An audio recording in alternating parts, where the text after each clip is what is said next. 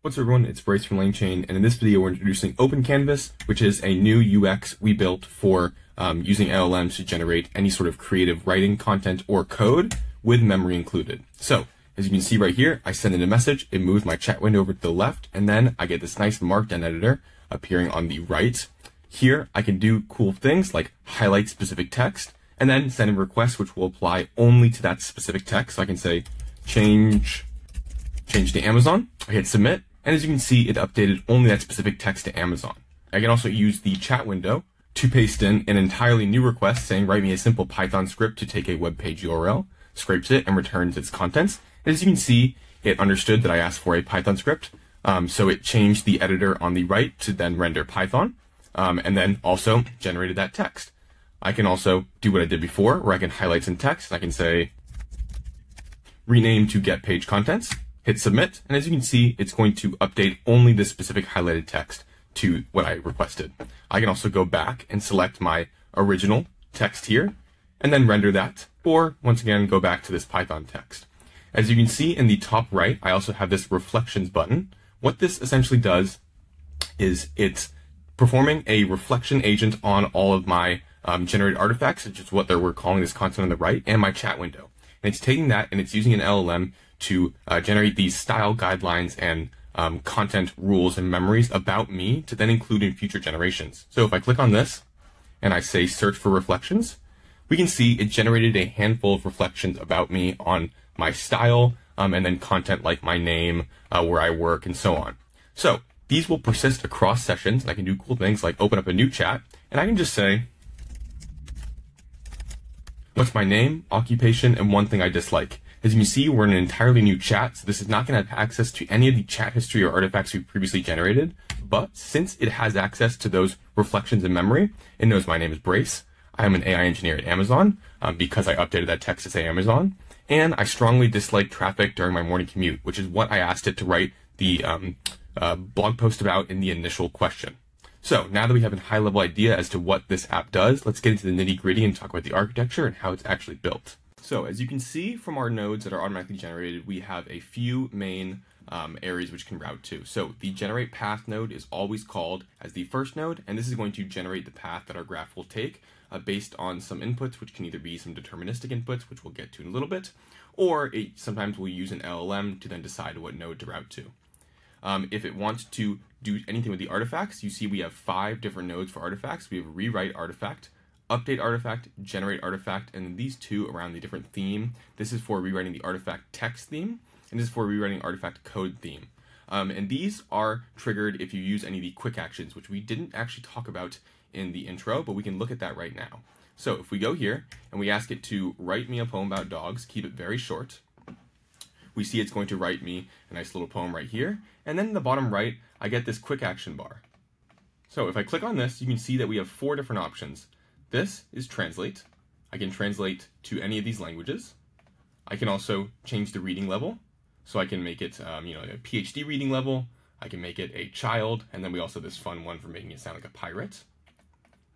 I can change the length, so I can make it longest, shortest, short, and so on. And we can do this, ready? So I'll say make it longest. And what it's going to do is it's going to pass in this field um, in my state called artifact length. And then in my initial generate path node, it's going to see that artifact length is populated, um, and then it's going to route it to the rewrite artifact theme node. It does this for any of the state fields which correspond with the quick actions for text, and that would be uh, language, artifact length, regenerate with emojis, or reading level. So if any of these state fields are populated, we know that a user used one of the quick actions, and we need to route to art rewrite artifact theme. The same goes for rewrite code artifact theme, um, but those have the quick actions of adding comments, adding logs, port to a different programming language, or fix bugs. And if any of those are passed in, we know we want to rewrite code artifact theme. What these two nodes do is they're pretty similar. What they do is they have uh, a unique prompt for each quick action you could take, and based on the populated quick action in the state, um, it has a switch case, and then uses that specific prompt. So for rewriting like a pirate, the prompt is just saying, you know, take this artifact and rewrite it sound like a pirate. If you're using the code quick action and say you wanted to port it to uh, PHP, it's going to say, given this code, port it to PHP. Um, and the prompts are a little more detailed than that, but that is the overall theme. If you didn't populate any, or if you didn't use any of the quick actions, then we also have the ability to highlight, which we did see in the input. So if I were to highlight this and say uppercase and send it, it's going to know that I highlighted this text because that's going to be populated inside of the highlighted field here. And what this does is it basically just takes the start index and the end index of the highlighted text, adds that to the state, sends it to the LLM, and the LLM says, okay, this highlighted state field is populated. That means that I know I need to route to the update artifact node. And this node is specific for updating the highlighted text. Um, and it's just some other prompting around saying, okay, given this specific highlighted text and then some context before and after, because the LLM needs to know more context than just what you highlighted, um, do what the user asks. And it's prompted um, very specifically to only highlight what is updated. And those are the three deterministic routes that Generate Path can use. If none of those state fields are populated, then we can either generate an entirely new artifact or rewrite the artifact and finally respond to query. So generating and rewriting the artifact are exactly what they sound like.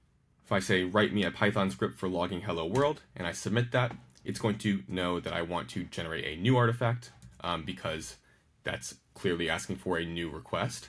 I can also say something like wrap it in a function and it's going to pass this uh, current artifact and then also some context like my input and some previous chat messages to an LLM. The LLM is going to say, okay, we probably want to rewrite the artifact. So then it's going to rewrite the artifact. And then finally, I can also just ask my chat window some simple requests like, you know, how are you? I send that, and it's just going to reply here, um, and it's not going to actually update the artifact. That's because the LLM knows we don't need to touch any artifacts, we just need to respond to query.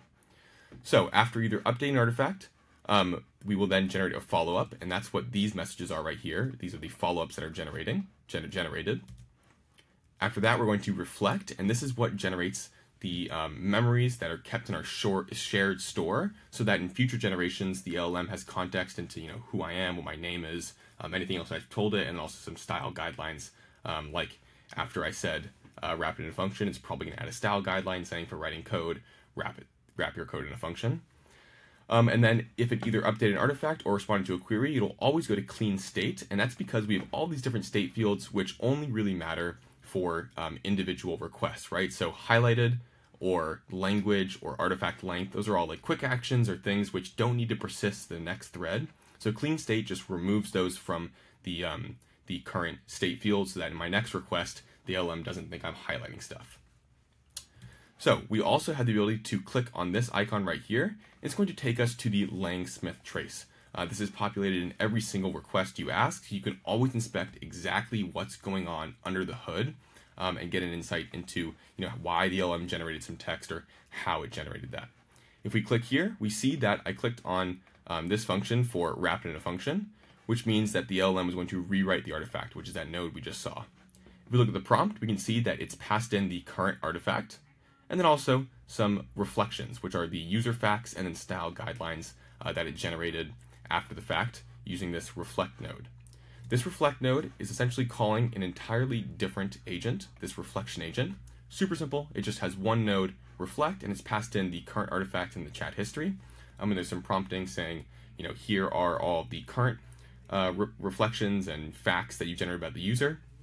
Here's the current artifact. Here are some messages uh, regenerate all of them, combine some you know duplicates, um, and then it's going to update our shared store to then persist those values in the next generation so that our LLM always has context about who we are. We can see that's triggered here. Um, it's basically just calling a subgraph using the LangGraph SDK to then invoke that. Um, and then we're also passing in some fields to say, you know, if you get duplicate requests, cancel the original, and then only use the most recent, and then also wait. I think I set it to 30 seconds so that we're not just reflecting on every single request because um, that would get pretty pricey if the user is going back and forth with the LLM. So what it does is it delays 30 seconds, and if there have been no requests um, for 30 seconds, it goes and it reflects. We can see all those reflections here, and then the UI will also let us clear these reflections so that we can start fresh. Speaking of starting fresh, if I'm here and I don't want to start with a chat window, right? Let's say I'm writing some code in my IDE and I want to use uh, Open Canvas to iterate on it. I can select this quick start code. Um, I can do the same for text. If I select quick start code, I just need to specify a language like TypeScript. And then it opens up a brand new, totally clean um, code editor and then a chat window on the left. And then I can paste in some code here, right? Or I can just modify this. So I can, let's say I modify it to say, very simple, you know, import React from React. Our LLM is going to always be passed this because it's the current artifact we're viewing. So I can then say, what I just write my code window, since this artifact is passed the LLM, it knows exactly what I've been writing, so it'll always have context into exactly what you're editing. I can also close this, you know, reopen it. Um, so if I had multiple ones, like I said, write me a poem, it's going to generate an entirely new um, uh, Markdown editor right here, and then I can close this out, of course, and go back to my code, or go back to my poem. We can now see my reflections. I think they have been generated for this. Okay, no, we need some more time, um, but in a few seconds, it'll generate some reflections um, about, you know, this user writes in React and whatnot. So now that we know how it works at a high level, let's take a look at some code and see exactly how we're doing some of the more complex things.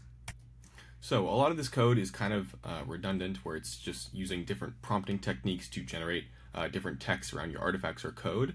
Uh, so I'm going to take a look at just two of these nodes which do some cool things uh, like using LLMs to route the uh, path and that's what we're going to look at first. So we're going to open up the first generate path node. As you can see all the nodes for the main open canvas agent are inside this nodes directory um, and they're all named the same or the file names all have the same as the function name.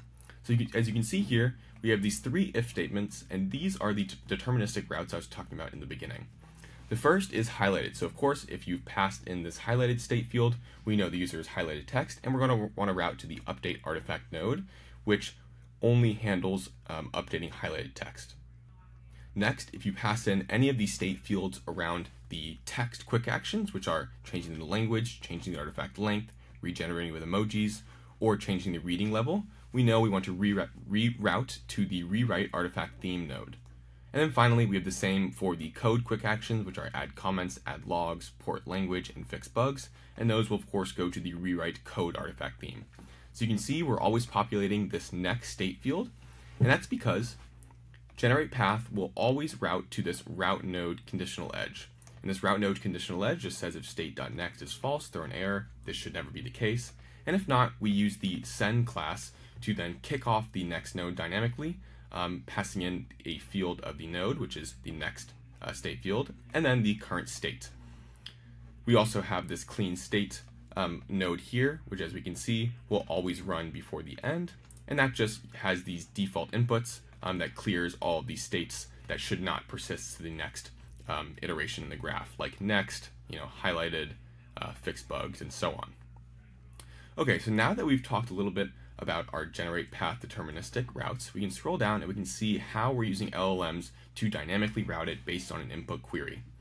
The first thing we do is we extract the selected artifact. We use the selected artifact ID if it's populated, and that's populated when the user you know, has selected an artifact like this. Um, but let's say they don't have an artifact selected. In that case, we just take the last artifact in the list, um, which is going to be the most recently generated or updated artifact. After that, we get a list containing all of the other artifacts that are not the generated ones because we want to include those in the context the, for the LLM. And then we format our prompt. So we have this route query prompt, which is pretty long, and it's just saying you're an assistant, you're tasked with routing the user's query, um, and then we give it some context about the different options it can choose. We give it the recent messages in the chat history, and for this, we just take the most recent three messages and then format them into a nice string. We also give it the current artifact, um, or sorry, we have all of the artifacts and the history the user has generated, um, and we're using this uh, format artifacts util, which essentially just takes 500 characters because the LLM typically will not need the entire artifact for this generation. Like say you're asking to write a blog post and you have, you know, five different blogs in your history. You don't want the LLM to be having, you know, like 30 paragraphs in the context. It doesn't need that. And then finally, we end it with the selected artifacts. The LLM knows um, exactly what artifact you are looking at right now if you are looking at artifact, um, so that it can use that as proper context for routing your query. Once we populate all that, we use GPT-4o Mini uh, for a small LLM, and then we bind a tool using with structured output that has two fields. Uh, the route, and that's either update artifact, respond to query, or generate artifact. And we talked about what those do in the beginning. And then we have artifact ID. Uh, the LLM should populate this if it wants to update the artifact. Um, and this format artifacts util function will add the ID and context. The LLM knows exactly what artifact to populate the ID for. After that, we invoke the model. Once again, we're using a small model, so it runs quickly and we can quickly route to the next node. And then we say if the route is update artifact, um, the update artifact node name is actually already taken by the highlight um, or the node which updates the highlighted text. So we just uh, update that to the rewrite artifact node, and that's the name of the node which will rewrite the entire artifact. And then also making sure that selected artifact ID is populated with whatever artifact ID the LLM um, used, or sorry, included in the generation. If not, then it will either be respond to query or generate artifact, and we just pass that via the next field. And then of course, as we saw before, this goes to the route node, and it will use the send class to then invoke that next node. So now that we've talked about the initial router, let's go into um, how we're actually generating these reflections and storing them in our shared store. So to do that, you're going to want to open up the reflection directory and then the index.ts file. This is also relatively simple. What we're doing is we're extracting the store, which is a new API we added in the LangGraph API from the config, and we're using this new type we added in LangGraph called LangGraph runnable config, and it's just adding the store field to the normal runnable config you're probably familiar with if you've used LangGraph or LangChain. This util function just verifies it's in the store. Um, and if you're using LangGraph Studio or LangGraph Cloud to deploy or develop your application, you will always have a store included. And then it gets the memories from the store or the reflections. In order to do this, we have a namespace where these reflections are stored, and they're namespaced by memories and then the current assistant, assistant ID. Once again, if you're using LangGraph Cloud or LangGraph Studio, you will always have an assistant ID populated. After that, we have a key, which is the reflection key. Um, this has to be a unique key uh, in our store in order to store these specific reflections uh, in the database. We then call store.get, and we get the memories back. Then, if memories are populated, we format them into a nice string, or we say no reflections found. We then define the tool schema for generating new reflections, where we have two different fields, style rules and content rules. As you saw in the dialog I opened up in the UI, we had two sections for style rules and content rules, and these break out things like you know the user likes his functions or his code wrapped in functions, um, and that would be stored in these style rules. And then for content rules, it would be things like the user's name is Bryce. After that, we use Claude 3.5 Sonnet uh, because we want a powerful model that is able to perform these somewhat complex reasoning tasks, and it's running in the background, so we don't need to worry about speed. We then bind the schema to it and give it a name of generate reflections, and then we have this uh, another long prompt, which of course you can look at in the uh, open source repository. But this is just uh, giving some prompting around here's all of the um, reflections you've already generated, here's the chat history in this uh, conversation, and then also here's the current artifact the user is looking at. Given all this, regenerate all of these reflections, and then once we get the result of this, we create this new mem new memories or new reflections object containing the new style rules and content rules, and then call store.put using the same namespace and same key, and that's going to replace the values that were previously in our store with these new values so that um, they will be included in all future generations.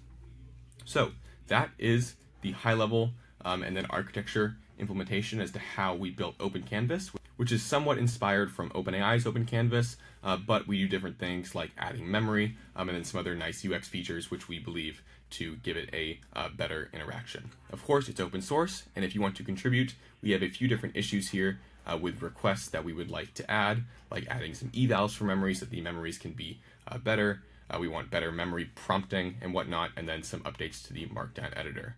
Um, so I hope to see you all interact with this repo, um, fork it, improve it yourself, or contribute back to it. Um, and of course, it's going to be deployed for free in production. So if you want to interact with it, uh, go ahead. I will see you all in the next video.